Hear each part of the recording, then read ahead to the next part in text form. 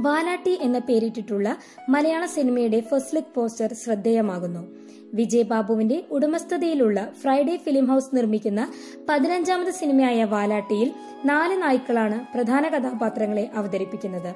ഈ സിനിമയുടെ സംവിധായകൻ നവാഗതനായ ദേവനാണ്. ആധുനിക സാങ്കേതിക വിദ്യയായ വി എഫ് എക്സിന്റെ സഹായമില്ലാതെ യഥാർത്ഥ നായ്ക്കൾ തന്നെയാണ് ടോമി അമലു കരിദാസ് ബ്രൂണോ എന്നീ നാല് കഥാപാത്രങ്ങളെ ചിത്രത്തിൽ അവതരിപ്പിക്കുന്നതെന്ന് നിർമ്മാതാവ് വിജയ് ബാബു അറിയിച്ചു.